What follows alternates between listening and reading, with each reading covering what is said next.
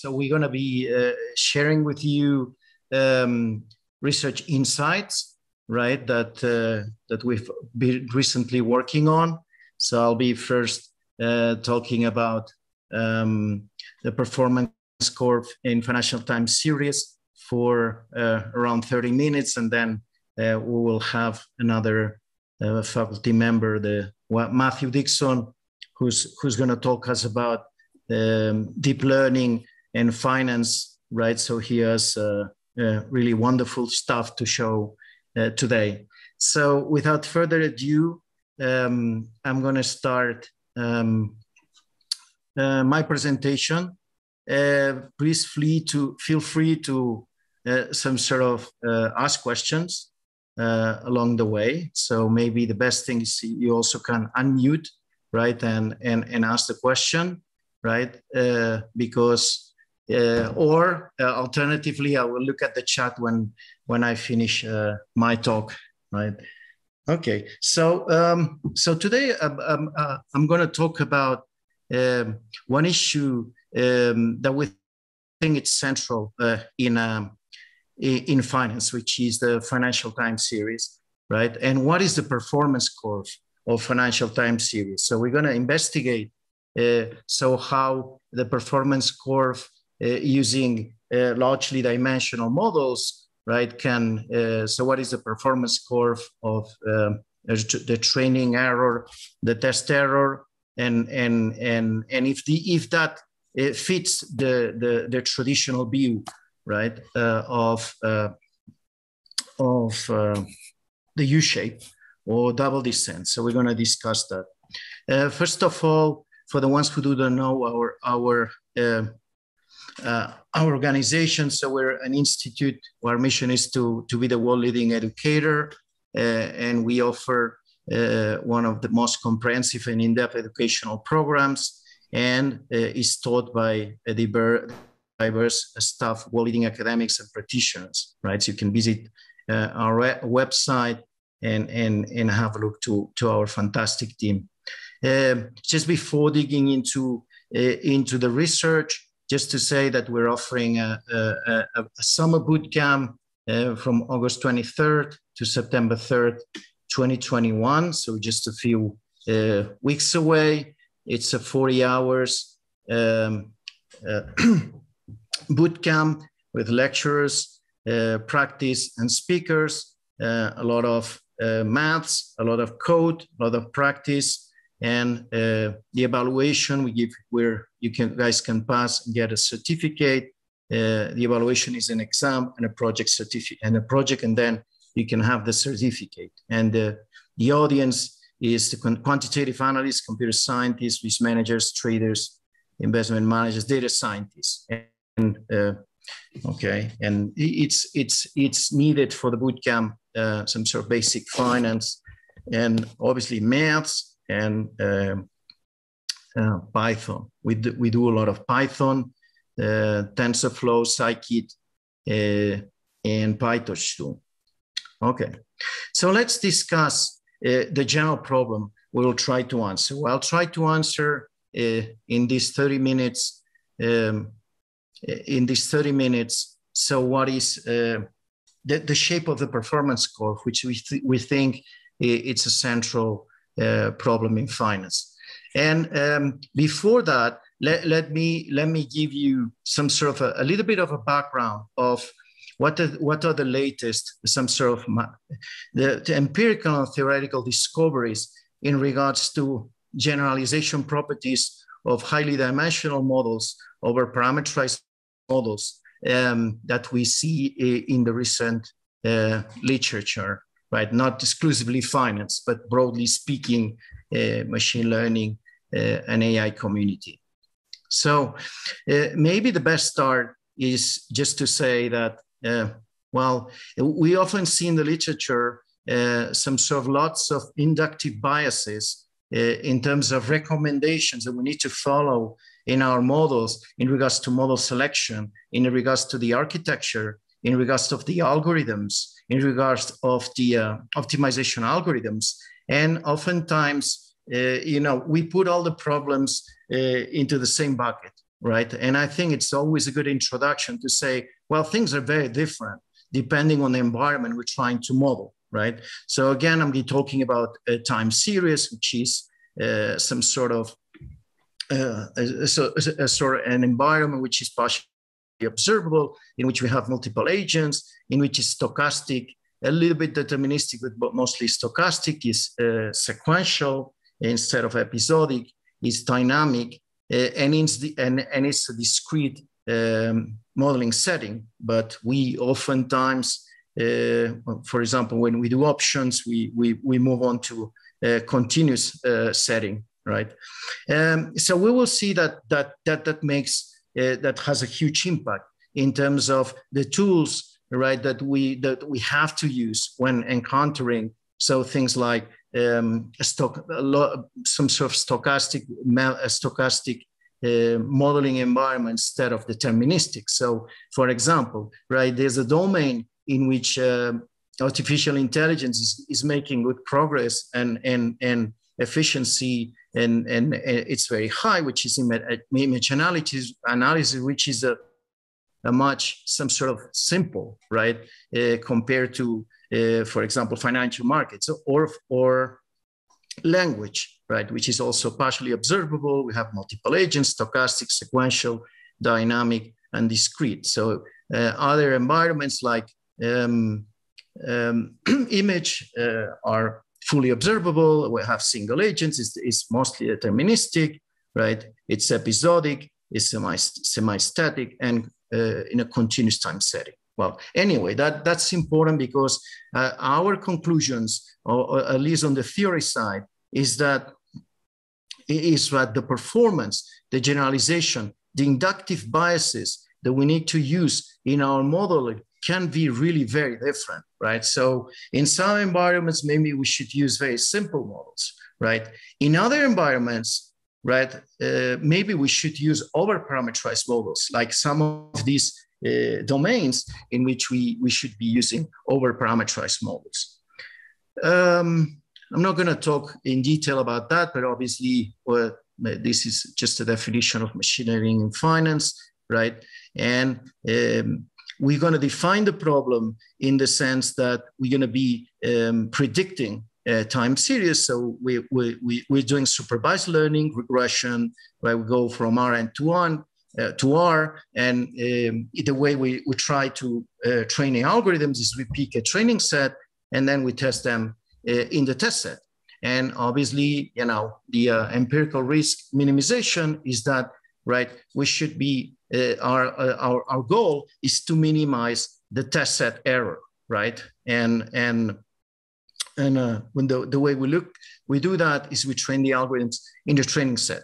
So uh, training set performance and test set performance is obviously uh, what the, what the uh, uh, modelers are, are focusing on. Okay. Um, we have lots of algorithms to choose, right? And this, uh, in terms of doing regressions, we can do linear regression, we can do nonlinear regression, right? Uh, we can ensemble methods like XGBoost and random forest. We will show actually uh, some of work here, decision trees and neural networks. So all of these guys are nonlinear. I can deal uh, with high dimensional spaces.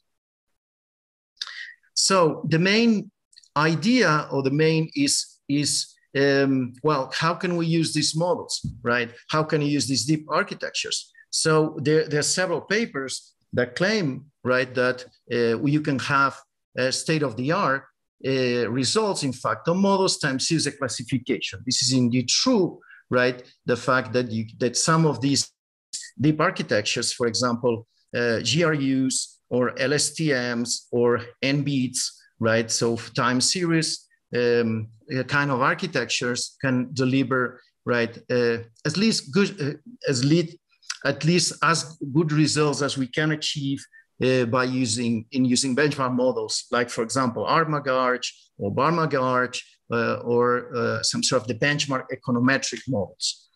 Um, we can also use uh, these over-parameterized or, or, deep architectures in using deep, deep reinforcement learning, and we have a, a, competing model, which is XGBoost. That's why when we investigate the, the performance curve, uh, we will be using uh, we will be using also trees uh, and ensembles, which seem, which work very well also in the financial time series domain. What are the, on the other side? What are the problems? Right. So problems, um, as we all know, some financial markets, uh, right, might be uh, non-stationarity. So we might encounter so different probability distributions or different environments in the future than the ones that we saw in the in the training set. So this is obviously something that is going to impact generalization. I'm going to be talking about generalization uh, for the rest of my talk, right? Obviously, non, non-stationarity is a serious problem for generalization, right? Because if our algorithms have been trained in a data set the parameters have been learning in this data set, right? Um, then what they're encountering in real life is this is the training set or the real life uh, problem be close to the training set. So, uh, so this is obviously um, uh, uh, uh an issue in the performance. Interpretability it's obviously an issue. The more highly dimensional nonlinear model, the harder it's going to be to interpret. And this is obviously something that we're going to need to put uh, in our model risk. And then we're going to try to, to, um, to answer to quest one, one main question is uh, about overfitting. Can, can we say, what can we say about overfitting when using overparameterized models uh, in real time series, in real financial time series? Okay, so here I have a few slides that are basically covering some theoretical aspects. So here I'm going to go quickly through them, but uh, well, the classic theorems is minimum description length. So we should be compressing the data.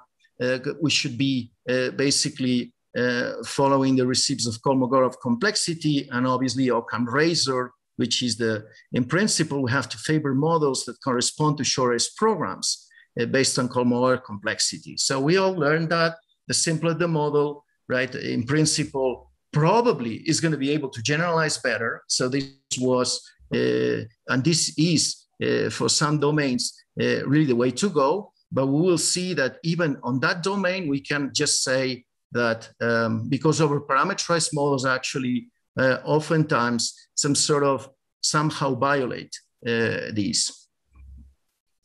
Okay, why, why these uh, some sort of deep learning non-parametric or, or, the, or these machine learning non-parametric models uh, are working so well. We all know there's, there's, there's a few universal approximation theorems. So we all know that, that it can, they can approximate very well, um, right, um, with just a few uh, output layers and, and activation functions, we can approximate anything pretty much right? And then we know that they also operate well or relatively well with stochastic processes, but a lot of uh, a lot of more research is needed here, right? Uh, okay, what else?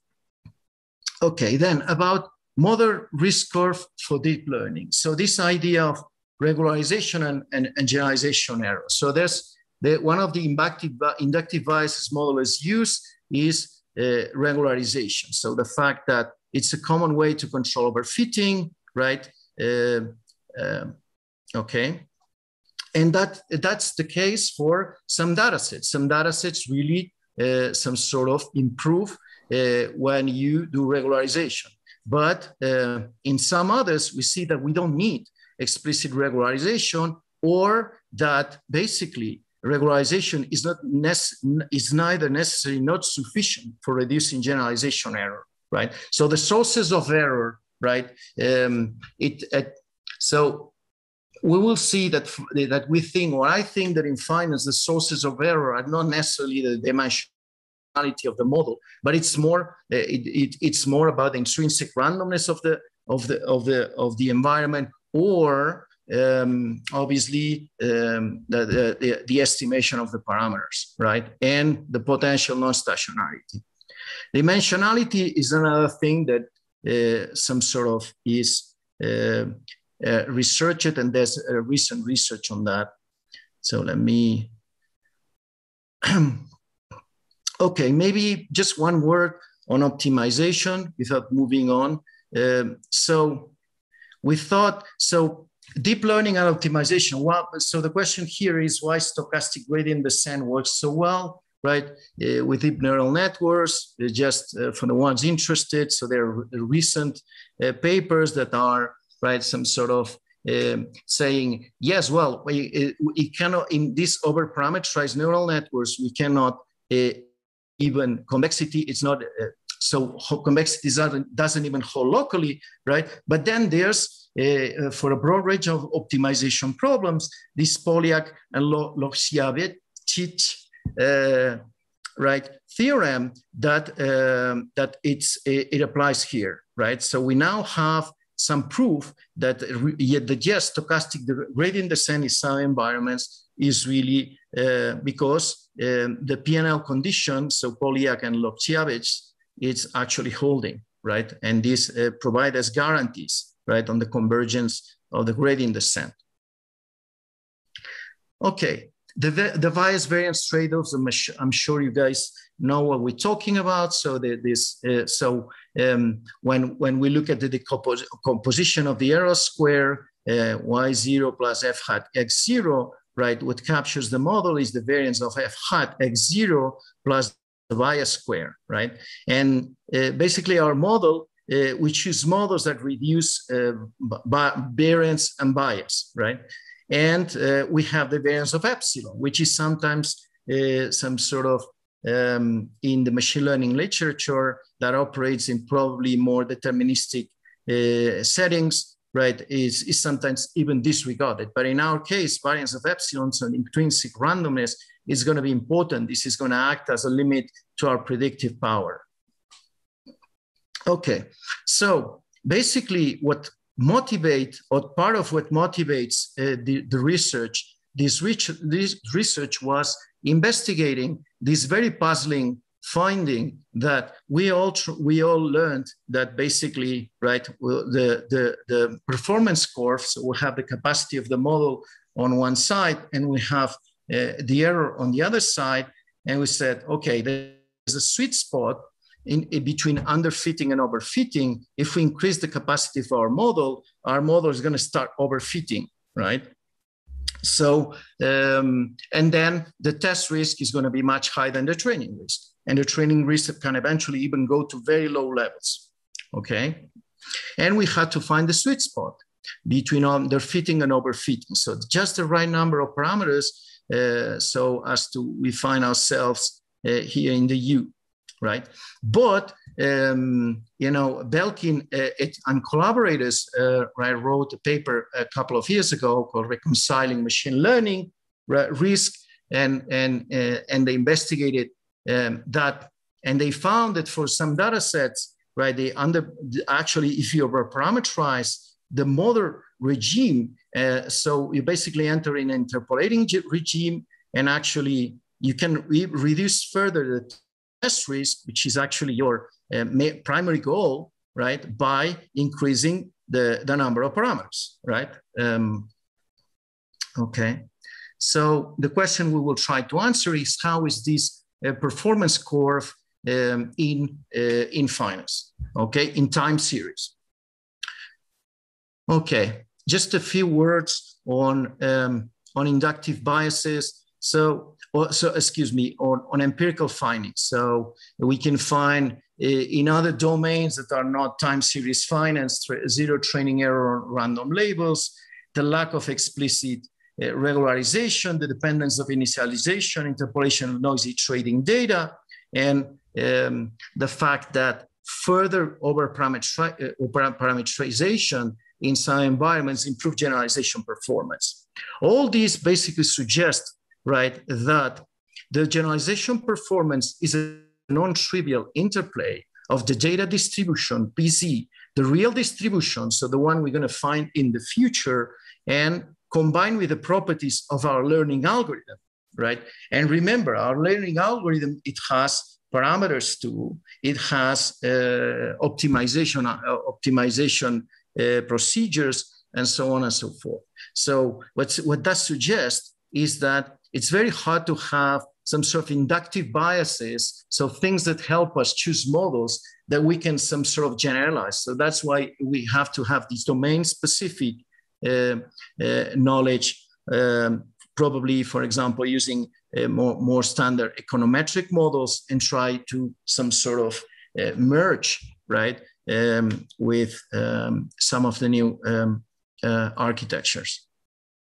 Okay, well, some of the inductive biases, so inductive biases, right, uh, is the use of um, prior knowledge um, about the world in order to efficiently learn new con new concepts, right? So, uh, so how can we choose? Um, so how can we? what are the properties, right, that our models, that our data or our models has to meet in order to have good uh, generalization performance? And we oftentimes use things like uh, maximum conditional independence, minimum cross-validation error, maximum margin, minimum description length, uh, and, and, and things like nearest neighbors, right? You will find all these in the paper, which is still uh, uh will that will be in SSRN very soon.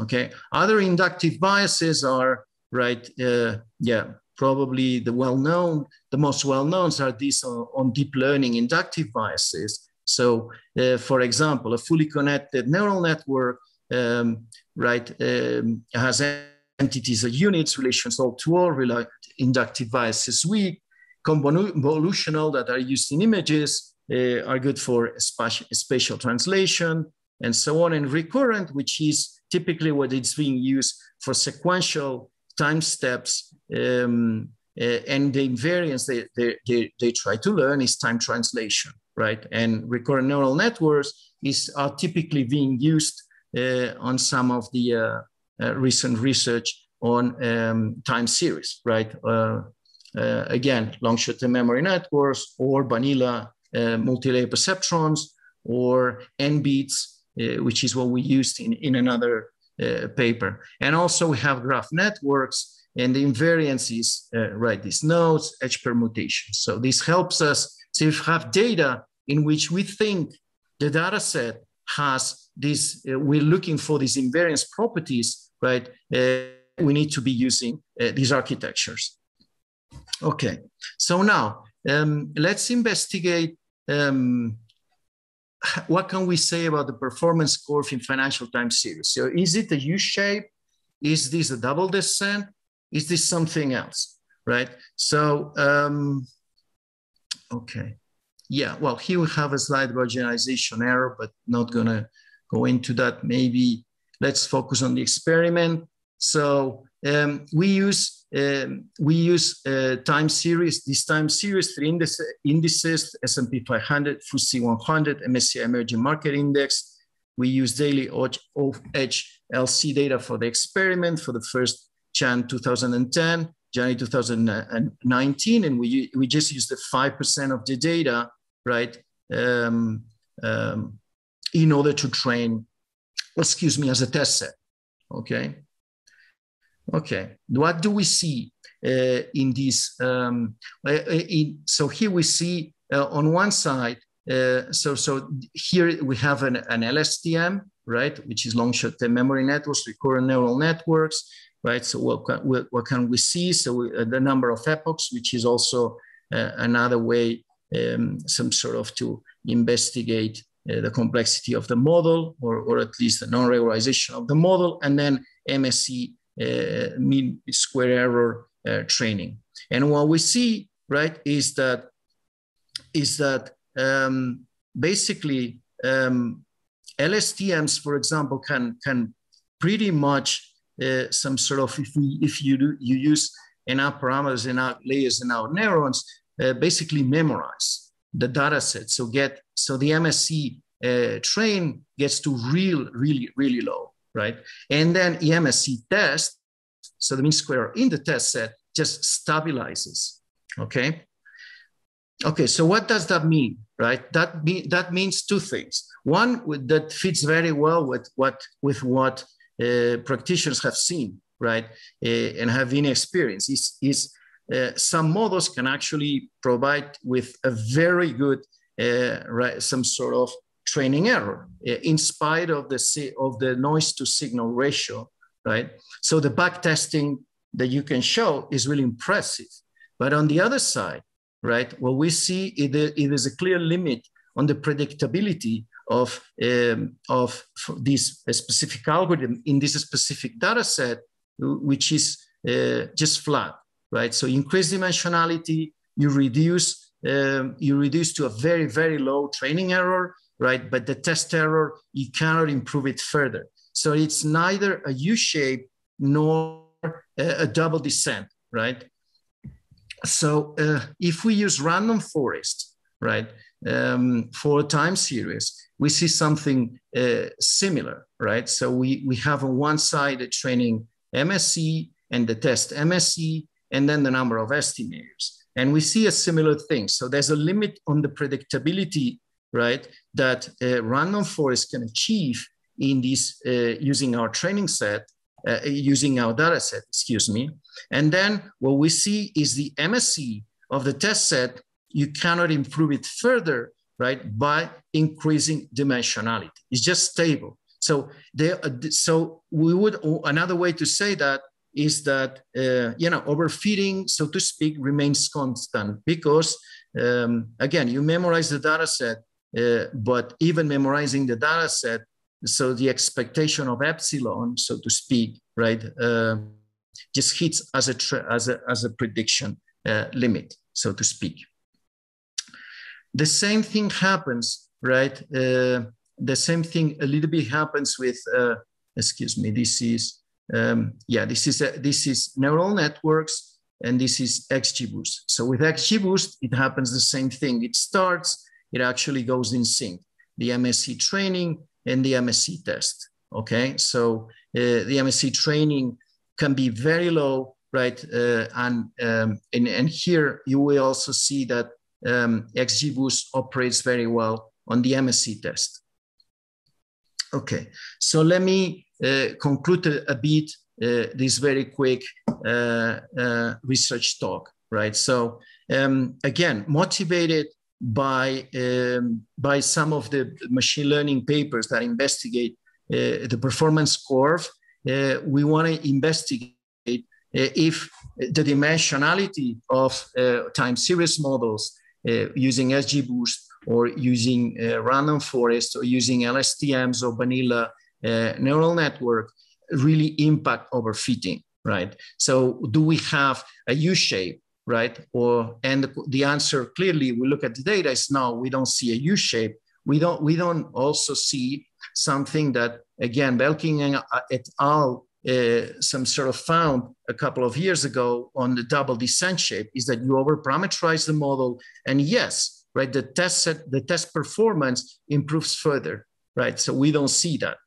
okay? So it has a flat, flat, profile, a flat profile.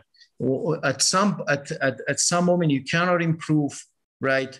Uh, you, you, you maybe uh, achieve your best training error fit that you can find, but the test, uh, the test um, uh, error remains high. Okay, so and well, another finding that it's it's uh, it's something that uh, obviously practitioners know very well is that the, if you increase dimensionality, you of you overstate right. You will tend to overstate right the performance um, of your model because on the training set you can achieve uh, obviously very high right uh, or very low MSE. Okay. Uh, so the paper is not yet on, on SSRN. You can also find uh, some of our other papers in which we investigate deep learning uh, for equity time series prediction, right? Uh, deep learning uh, for asset allocation in US equities. A, a, a, paper in which we investigate similar thing, which is can we use meta learning approaches to model uncertainty financial time series, right? Another way uh, to some sort of try to improve generalization performance is to use meta learning um, approaches that uh, instead of uh, investigating and uh, investigating only the data set you, you have, right, uh, also investigate our data sets. And we, we actually try here N-BEATS, uh, which is a, a meta learning time series model that works very well Okay, so I really encourage you to read uh, that paper. And we also uh, wrote uh, last year, I wrote some papers on uh, alpha, ESG, and SDG. Okay. So, okay. Yeah, the model, but, but the model is trying to predict um, uh, the return uh, on, on T plus one. So it's a very simple, right? Um, okay, it's very simple. So you try to predict um, uh, next day performance, return, right? Linear returns, okay? And uh,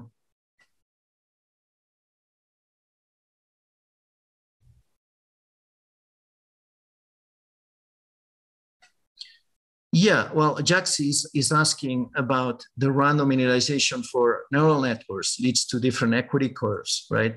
Um, yeah, as usual, as, as that's, that's obviously a very good question. So you have to investigate to what extent uh, where you start, uh, some sort of infuses such a strong prior, right, that then Mm, it, lead, it really leads to a very different equity curves, right? I think this is another problem. You should investigate thoroughly in your data set, right? If, if that's the case, right? So you need to run, right? Um, you know, several initialization and do look at the neural networks or, or you know, your, your machine learning model and, and, and investigate that. Okay. Okay, good. That was fast. um, okay. Okay, so now we have with us uh, um, Matthew Dixon, right? Uh, Matthew, that uh, can start sharing his slides.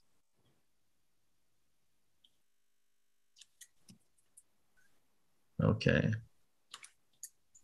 Yeah, welcome Matthew Dixon, right, uh, to this webinar. He's going to show us very interesting new stuff, right? And uh, I think Matthew uh, doesn't need an introduction, but he's one of the uh, uh, best researchers and practitioners in the space, right? Uh, right, he's also at in Illinois Institute of Technology, He's a faculty member, and he has a brilliant piece of research uh, about uh, financial modeling with deep learning. Yeah, well, thanks, Miquel, and, and thanks, everyone. Um, so I'm going to uh, try to, to tie some of the ideas here to some of the concepts that uh, Miquel has already mentioned. Um, and uh, before we, we go any further, I think it's, you know, I think everyone would agree that uh, this, this view that that does exist uh, in in the industry that you know there's really little hope for, for deep learning and and it's sort of the you know the end of the road. And there is a lot of skepticism in the industry um, and some have questioned why deep learning hasn't been as sort of um, as transformative uh, as it's been in some other application areas image processing speech recognition and so on. Um, but i think we're, we're still getting there. Um, you know there isn't nearly as much funding going into uh, machine learning specifically for finance as there is at you know Google and Facebook and, and uh, NSF type funding. So I think we're we're getting there, uh, and of course we don't really know what goes behind closed doors at the major institutions.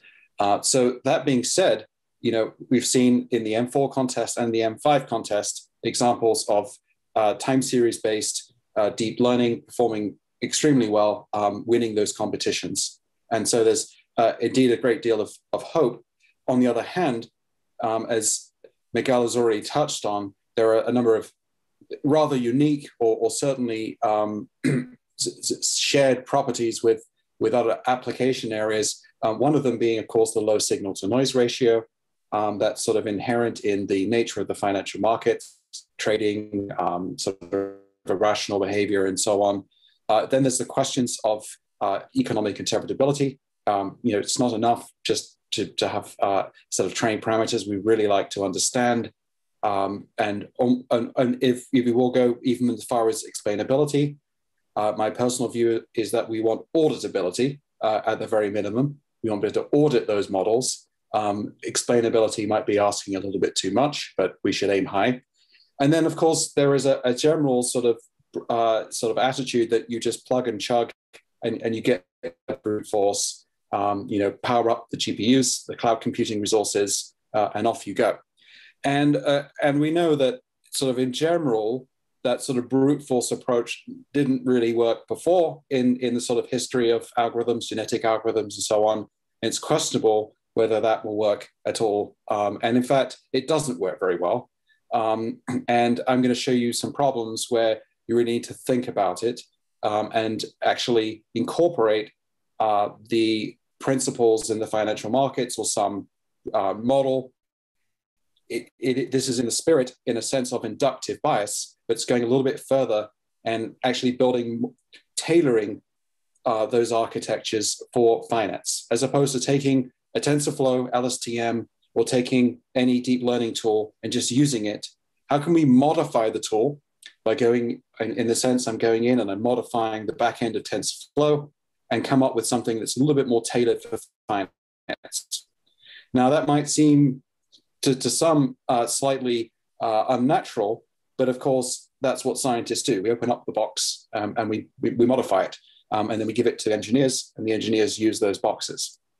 And so we're going to look at examples where there really are several sort of problems. Um, and, and so let's, uh, let's see here. Next uh, slide here. Seem to have lost my slides, so show that again.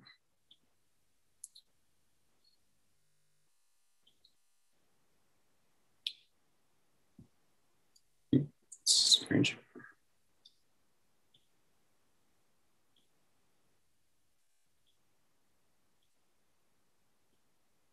Shut down my slides and open it again. Hope that that fixes it. Yes, okay, great. Apologies for that. Um, so let's look at the motivation for model-based deep learning, where we try to incorporate some knowledge of the financial markets model directly into the deep learning architecture um, or in the objective function. I say or because in some cases it may be better to do that rather than to modify the architecture itself.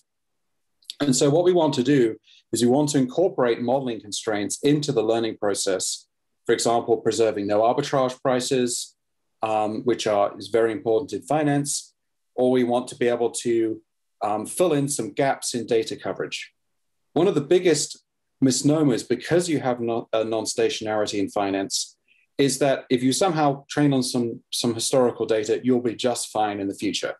And of course, if the data is always changing, how can you know that your historical data is representative of your future? Moreover, you may only observe certain variables, input variables, features in certain states. And what if those change in the future in, in ways that have never been seen before in your historical data? Is the architecture really, is the deep learning model going to really handle that situation correctly?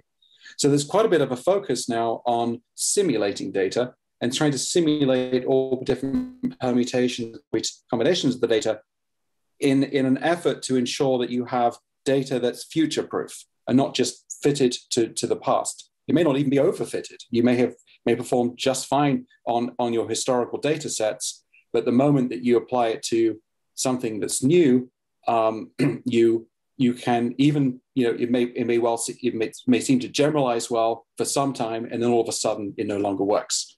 So we may need additional models to solve that problem. That's one approach. It's not the only approach. Uh, and we also may need better algorithms than we currently have, um, rather than just standard off the shelf algorithms. Um, I'll focus primarily on regression here problems, but everything in this talk is also geared towards classification. So we're going to present the following framework. We're going to present two different types of frameworks, one for IID data, so cross-sectional data, and one for time series data. Um, and I'll give two examples, both one with IAD data and one with time series data. Now, in our modeling setup, remember our goal here as practitioners is to model some financial problem and infer, and infer uh, some uh, map between some space X and some output space Y. Input space X, output space Y. X is your space of features. Y is your, are your labels. Um, and there may additionally be some nonlinear partial differential operator that's necessary to impose on F itself in order to incorporate some financial model that can help uh, with, with guide the neural network towards some more sensible results. And the reason for doing this is that you do not have this idealized pool of data. We can see that in an example. You often have messy data, it's noisy, and the coverage is poor. And you really need to incorporate another financial model like a partial differential equation, like a Black-Scholes equation, for example, into the model itself in order to Im improve it. And I'm not suggesting that this is the only approach. And of course, this is controversial. That's the nature of research. Um, and the main idea as well is that instead of just using per perceptual layers, we're going to replace them with any model we like. Weighted parameterized models that can perform some set of property that have certain properties that we would like. And we needn't stick to neurons. In other words, we like networks, we like the layering, the deep layering, the hierarchical um, uh, la la layering of, of, the, of the model. But why stick with neurons? In fact, we don't just stick with neurons. Uh, it, we use gates. LSTM uses gates, for example. What are gates? Gates are simple time series models, uh, examples of exponential smoothing models applied to a hidden state, in fact. So all we're going to do is we're going to generalize the ideas behind GRUs, LSTMs to layers of gates, or I'm calling those models because really they're just time series models. And, and so it gives us a, a new way of thinking about things. And moreover, we can tailor these models to certain stylized properties of the data that we would expect uh, and can intuit and can interpret. That's the key point. If we don't do that, then we end up with something that's not interpretable. There's no way around that. I mean, just using saliency maps or, or these other methods that are used for interpretability is, uh, you know, explainability is, is really not very helpful in finance. You want to understand what it is that you're modeling, and you want to, to, to learn about the, the empirical properties of that data and, and in a way that can be conducive towards investment and portfolio management. And on the time series side, we are going to, again, um, I'm, I'm not going to show you an example here with, the, with a nonlinear constraint, but we're going to see examples here where when the data is, is, is, is correlated uh, up to a lag of p, so it's autocorrelation lag of p, then stationary or non-stationary, we are going to use, uh, again, we're going to introduce our own types of gates or models. These, these are parameterized models. These perform model averaging. They extend our existing models. They provide nonlinearity, etc.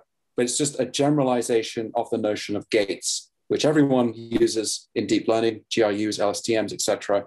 But why do we use gates? Why not use a model that we think would be more helpful for the application that we're trying to solve?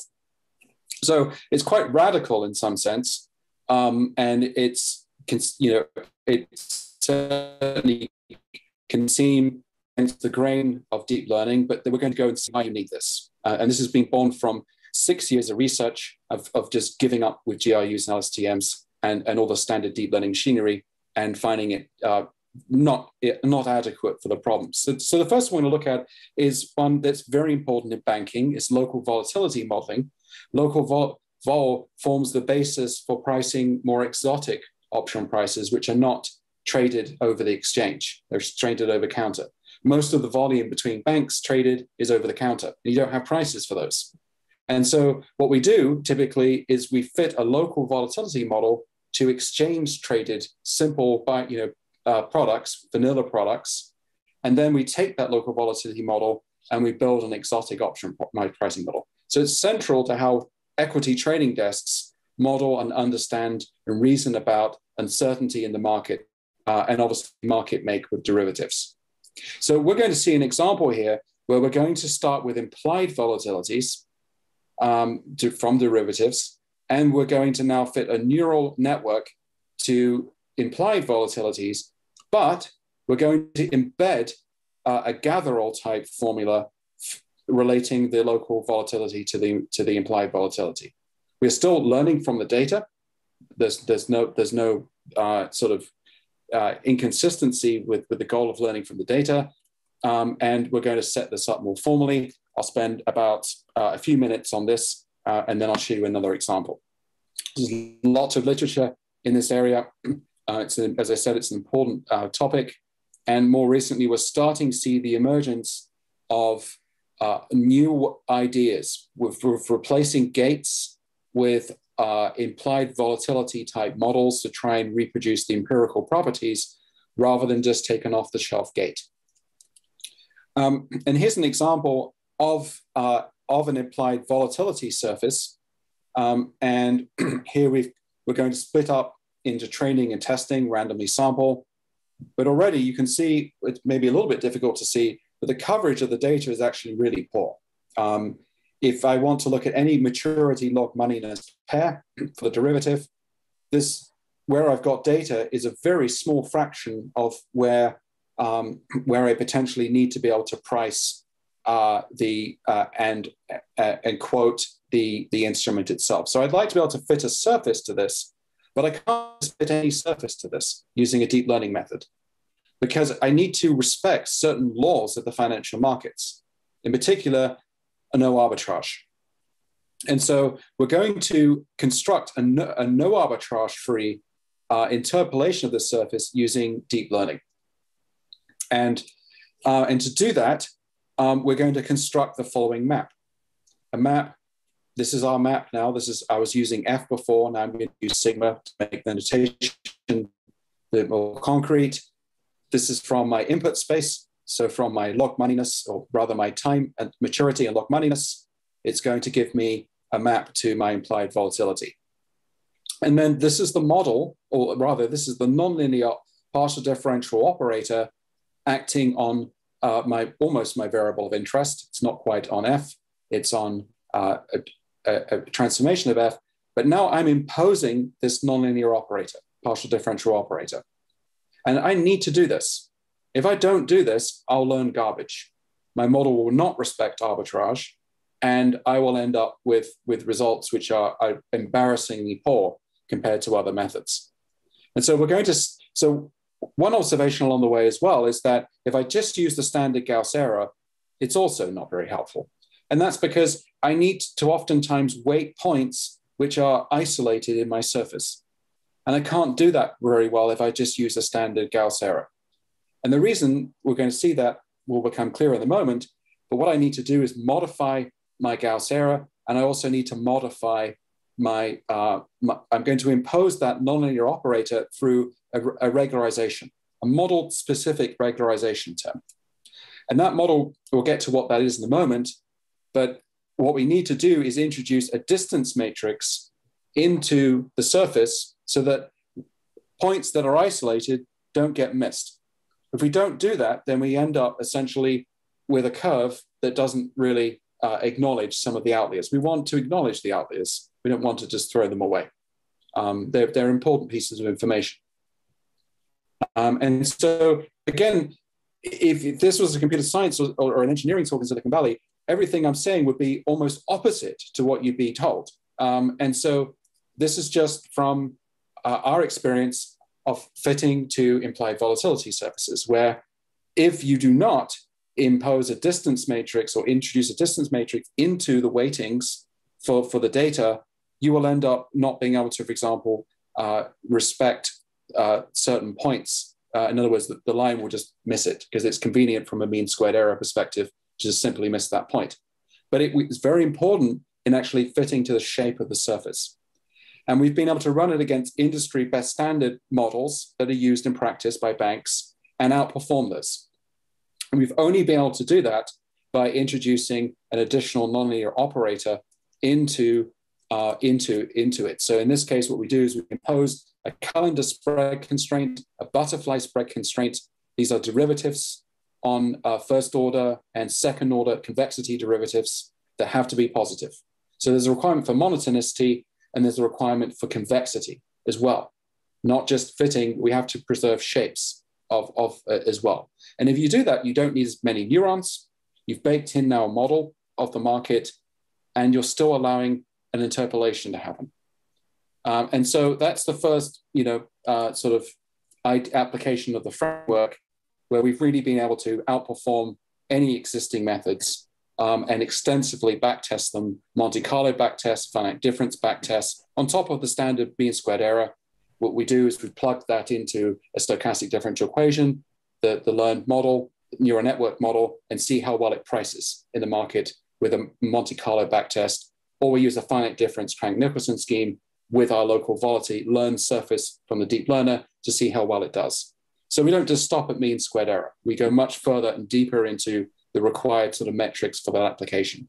And so the results are, are fairly extensive. We compare with Gaussian processes, we compare with price-based, we compare with many different variants of different deep learning architectures, which um, hard encode convexity constraints that don't work well. Uh, and that's one example uh, area. Um, so I'll move on to the second topic, switching gears now.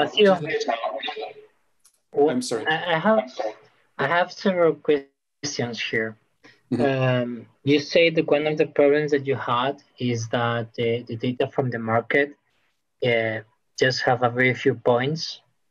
So if you try to to the machine learning algorithm to learn, one of the problems is that the points are not arbitrage free of when you try to fulfill the whole surface, the whole surface is not arbitrage free. The way that you try to solve this is putting on the penalty function uh, the condition to be arbitrage free. Yep. But I'm wondering about other solutions that I think I read. For example, if you try to fit the market data against a model and you make the machine learning algorithm learn the, the interpolation surface of the stochastic model, the data will be arbitrage free. The algorithm will learn itself the arbitrage free? Yeah, but but why would you? But that's very very restrictive. Why would you assume data came from a model? We do not assume data came from a stochastic model. We assume it's arbitrage free, but that's not the same as saying it came from a stochastic model.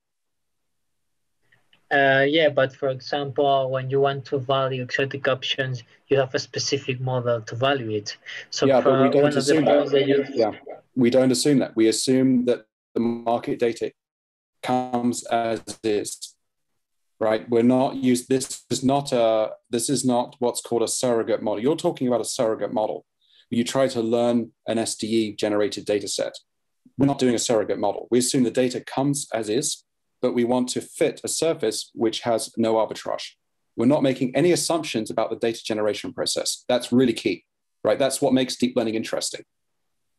But for example if you build for each data you have the data your local volatility surface yeah. and then you have a full matrix of surfaces for each day that each one of them all of them are arbitrage free because you constructed in that way and you make the algorithm to learn without imposing the condition the algorithm will learn the condition by itself no it won't because i can it won't i mean I, all our results if you just if you don't impose that condition, it, it, it fails visibly. And it's, so, it just, it's very oscillatory.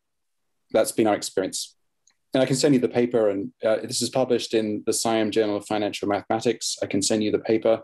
I can send you all the code. You can run it, um, convince yourself, but yeah. it, it doesn't it doesn't learn that constraint. I was asking because there is a different approach from a paper of Hull uh, Maxime Bergeron, I think that is the other name. Mm-hmm. And what they do is they do variational and autoencoders. And as all the data that they feed into the variational autoencoder, they are saying that that the, the algorithm will learn by itself the, the no arbitrage. Mm. But why? Why would that work?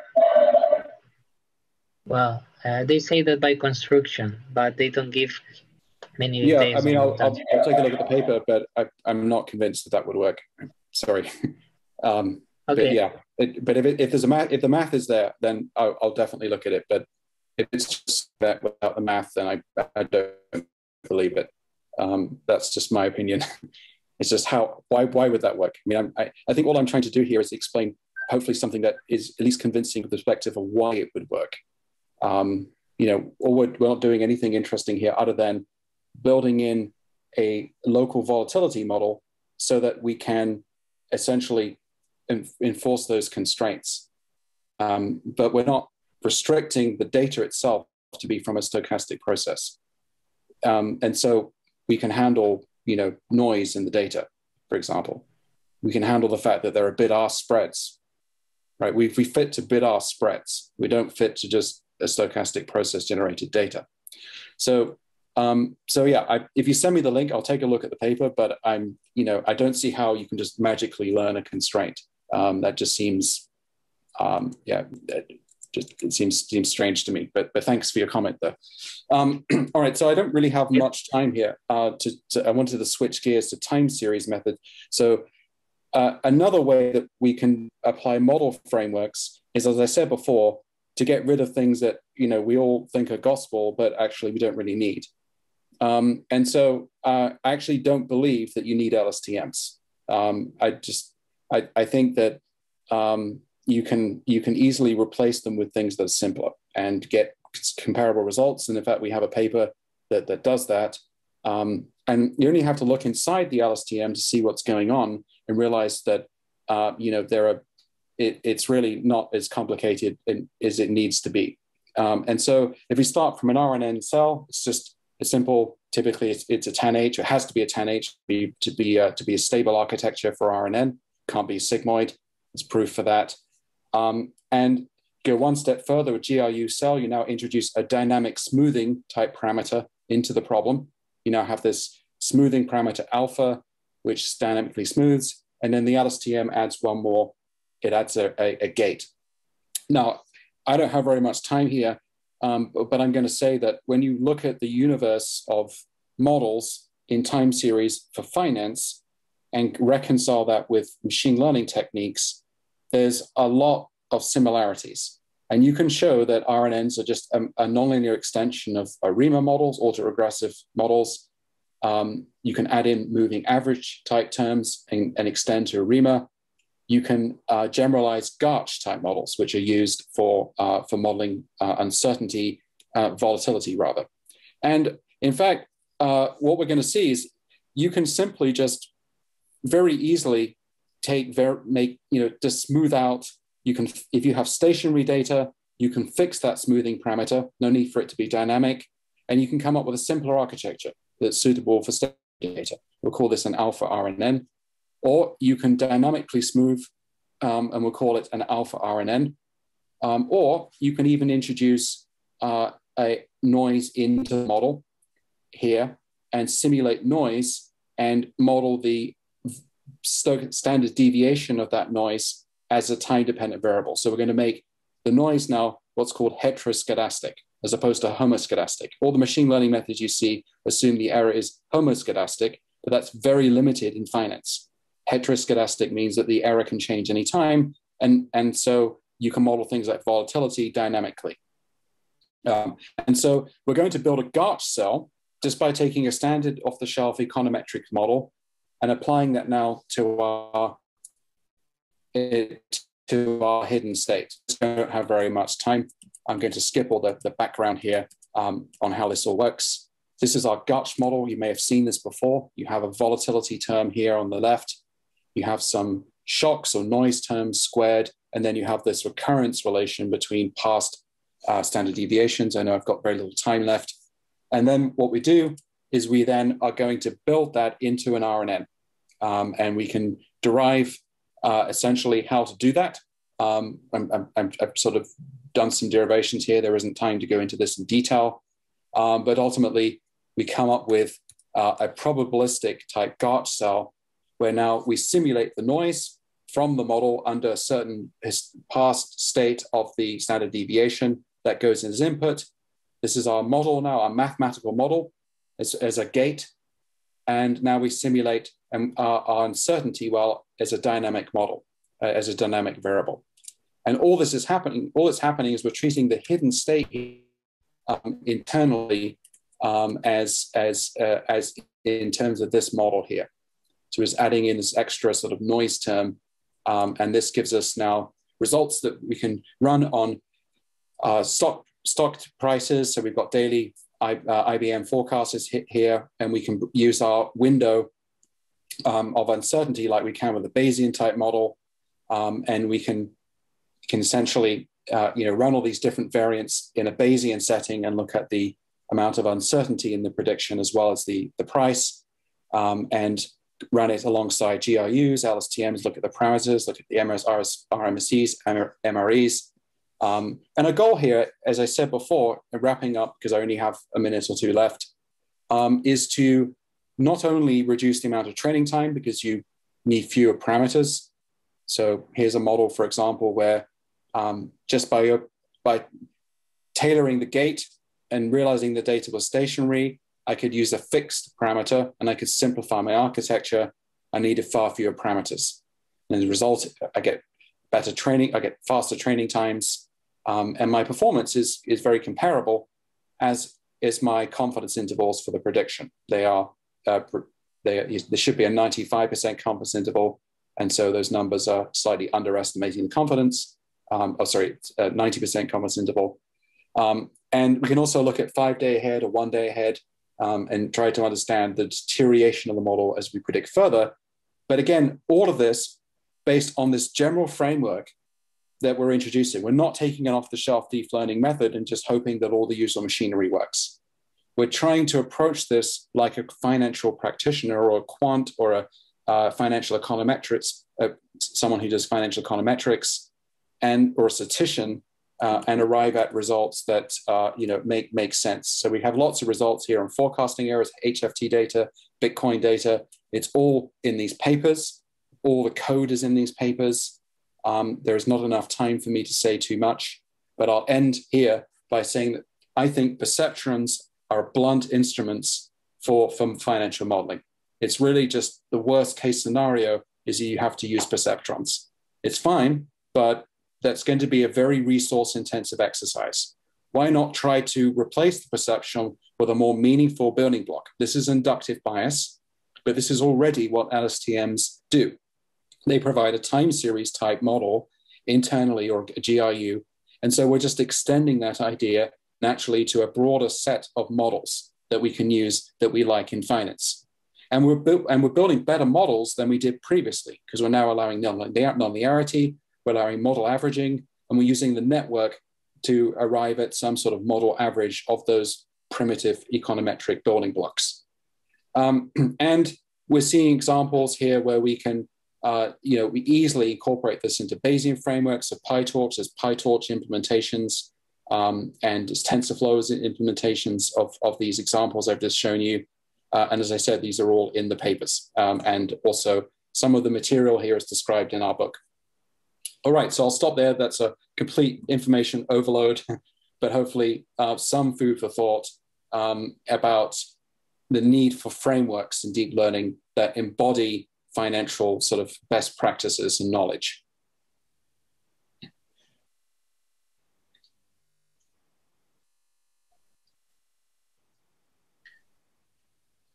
Okay. Well, brilliant, Matthew. Um, any questions from the audience? Right? Any questions? Uh, hi, uh, am I audible? Yeah, hello. Uh, hello, Dr. Alonso and Mr. Dixon. These talks were very, very thought provoking, even though it's just too, too much information to process in this time. Uh, I wanted to ask since these uh, presentations are so detailed and so extensive, are these talks maybe that you've given before? And maybe we can look up that recording on youtube to have a more complete context without having to go through all of the reference papers? Um, i have not given this talk before um, that's recorded. I'm, I'm, I'm sorry. Uh, the first part of the talk i've um, I've, I've given but also i think that was a 20 minute talk um, so no i haven't i don't have it sorry this is fairly fresh material yeah, well, uh, I think, um, yeah, we will see. Obviously, the recording will be available. We'll see how we can, right, uh, make the presentations available. In any case, right, um, I, you know, uh, I think it's it's always better to read the papers, right? It's it's well, I, it's not always better. I think it's it's if you want a deep dive, which is what you want to do, want to do, right? Uh, I really encourage you to go through uh, the papers we we're, we're we're sharing here, right? In where you see you know, all the motivations and you, in which you see how the experiments were conducted, right? And and and yeah, but we will we'll we'll we'll we'll try to right uh, see how we can um, make these presentations available. Okay. Yeah, and I, I, would I would add to that and just say I think it's important to take away something conceptually, not necessarily all the details. You know, you can always, which I'm, I'm trying to give you a you know a roadmap to some further information, but I think it's important to take stock of the main conceptual ideas because those are, are the most important. And the main conceptual ideas, just to recount here, that if you just take an off-the-shelf deep learning method or, a, or a tool and apply all the usual you know machinery that you would use from you know any textbook on deep learning, you're going to run into several problems. Um, and I think I think it, it you either on board with that or you're not. And if you're not on board with that, then it doesn't make sense to go into all these details. Um, so I think it you know it, it's a question for you know for you to sort of try and, and, share your own battle scars with, with your experiences on financial data sets. Can I? yeah, definitely. It. Uh, sorry to interrupt. Please go ahead. Uh, yeah, can I ask a question? Um, yeah, I, having come from you know trying to, to use these deep learning techniques in, in financial markets, I, I couldn't agree um, you know more wholeheartedly with, with, with your characterization that you just can't throw everything in. And, and I tried to build a, a, a model using deep learning uh, that uh, predicts, uh, you know, basically makes markets in high yield, high yield corporate bonds. And, hmm. you know, and, and, I inherited a model, uh, a deep learning model that was, you know, mathematically sophisticated, as you suggest, but domain knowledge ignorant. And, you know, it just doesn't work, right? So you have to embed what what I think you know the the main I mean that's that's your main point really is that yeah. you can't throw anything in these models. But I, I actually, given that have have have a, have a deeper question that came about when you were talking about embedding, say you know stochastic you know sort of volatility um, that's that's stochastic in nature in a time series model in an LSTM framework. Mm-hmm. Um, what you were really suggesting there, and I love that because you know that's the kind of volatility you see in the financial markets, um, you know, and and but then in the end, you came out and said, well, why are we using, you know, why are we trying to do that anymore? Why don't we just go with those models themselves in a, in a simpler fashion than the deep learning framework? Mm-hmm. Um, am I missing the point there, or am I? No, you're you're right. So you you know if you follow the logic, it almost seems circular, right? Because you know I'd start by saying, well, we need deep. You know, we love deep learning. It's a great tool. I'm not going to give it up. And then I spent the rest of the talk sort of totally yeah. bashing deep learning um, and and sort of you know saying how great these models were before deep learning. And at the end, I, I, it's not clear really what I'm saying. So let me just clarify if you just take these econometrics models that you know you're talking about that you know people love and, and they you know, seem to work reasonably well the problem there is you've got an inherent model risk. Like which one do you take? You know there's all these different variants right? With different stochastic parameterizations and so on. And the idea if, if you use models as building blocks then you can parameterize them all slightly differently. And you can also make them nonlinear in a deep learning framework. So in the end, it's not you're, what you're doing is essentially trying to get the performance power of deep learning, predictive performance, but also trying to build it from simpler, economically interpretable building, blocks, like you know these GARCH type models. So yeah. if you just use GARCH, the predictive performance is terrible. I mean, it doesn't have all the built-in machinery, doesn't use stochastic gradient descent, it doesn't have all the machinery of deep learning to make it work. It doesn't have a rich enough parameterization. So what you're trying to do is combine some of the things that we like about those models, but still rely on the power of deep learning to essentially, you know, networks, hierarchical layers, activation functions to make things nonlinear. And you're trying to essentially build up a sort of a, a, something that is, you know, the sum is more than, you know, there's the saying, the, you know, the whole is more than the sum of the parts. You know, that's what we're trying to do here with deep learning is fit, fit it all together and still get excellent, you know, performance. Uh, maybe not as always as good as out off the shelf, but at least then you've got some economic interpretability. Well, does that make sense? Uh, yeah, it does. But you know what, what I'm trying to grasp here is, is is almost the relationship between what you're saying and what I see in image transmission, right? Where you know where, where you, you take models, for example, and, and I'll, I'll I'll relate this back to finance in a second, but where you take models that have been developed, you know, based on on the brain in order to process image things, but yet, but then after you've understood those, right, you encode those in hardware, which which is analogous to say the you know Garch model or whatever is our economic hardware, and that hardware um, basically you know becomes in in in the economic sense, right? The, the Garch model becomes like an input to the network, but it mm-hmm. saves mm-hmm. the network from having to build the Garch model within itself. Yet it allows the network to tune the parameters of the Garch model to the problem under study. Because that's yeah. the analogy in the image processing, right? Is once we've we've understood, you know, this from a computational yep. point of view, right. in hardware, right? But we we allow still the network to tune the hardware given the sort of um, knobs we have, if you will, to turn on the parameters of that hardware. Yeah, I so I agree with you. I agree, and I think a lot of people are already doing this. You know, um, when you mentioned you're using Garch or something deep learning, you know, I've heard several quants or hedge funds say, "Yeah, we do something like that already." You know, we we took some, um, you know, we took some Garch model, we generated some features. We used the Garch, yeah, we used the Garch model for feature engineering, and then you know we fed that in to a deep learner, and then we used a standard architecture. There's a lot of talk on Wall Street, though, so you know, don't always. Uh, I've been there. I've lived there. yeah. I would also like to add yeah. something, which is that uh, our experience with uh, using uh, uh, well uh, deep learning, right? Broadly speaking, in time series, it if you look at our papers, you'll find that our MSEs, MSEs are extremely close, right? Dif- using different models, right? So um, there's also so so it's even hard to choose, right? So, sometimes, right? Uh, right? If you so that's one thing, right? That for example, we tried N-BEATS We didn't find any any significant um, any significant advantage compared to other RNN structures. But this is again our test in uh, uh, in a in a in a financial time series data set.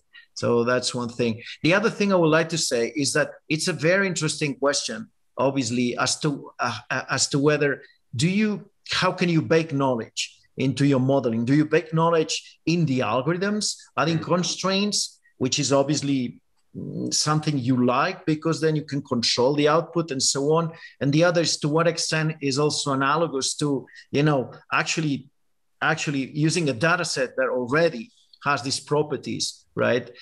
Uh, so um, yeah, th- this is obviously, uh, I, I, really obviously do prefer having algorithms that are more parametric rather than, uh, you know, but but but it's uh, as you mentioned, Matthew. There's there's a lot of discussions as to how we you can enrich right um, the historical data sets that are so poor so right. historical data sets are very poor, right? Yeah. So one way is you can generate more, more, more, more data, and this is you know good and bad at the same time, right? Because and uh, one other way is baking knowledge, these principles that Matthew mentioned, in the algorithms. So principles that we think that they have to be met, right? Like uh, non-arbitrage principles and so on. So I think this is a very interesting. We'll see in the future. We can we can see a convergence of right?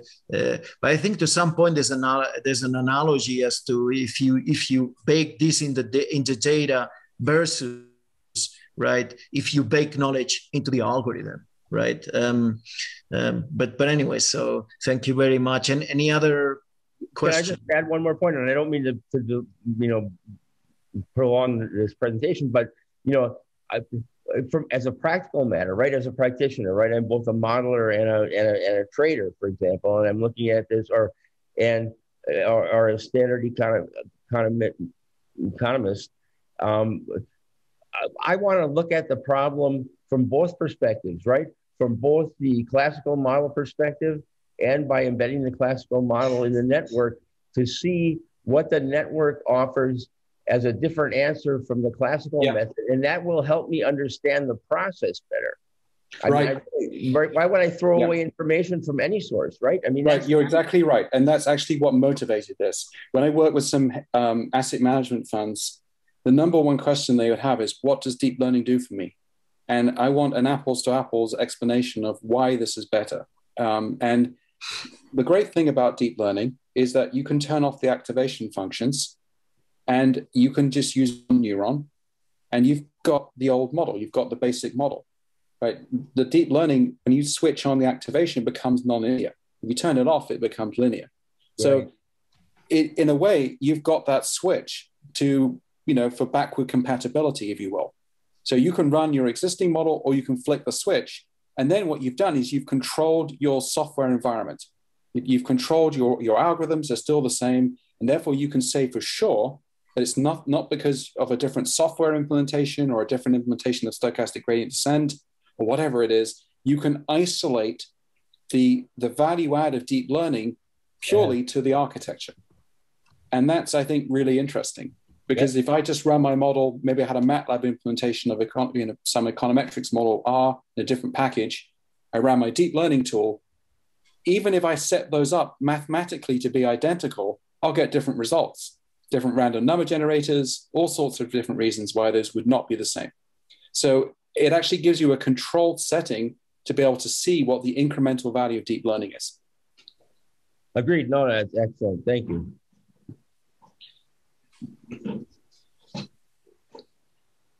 Okay, any other question? Okay, okay. So thank you very much. If you want to, you know, uh, uh, so pay attention. We will do more more of these right, in the future, and also again, uh, we really uh, welcome you, to, encourage you to take our, our boot camp right uh, uh, from 23rd September to the 3rd September. Right, you're, you're interested, and in any in any case, thank you very much for your active participation in the webinar. It's been, really very interesting, and we had very nice discussions. Thank you very much, everybody.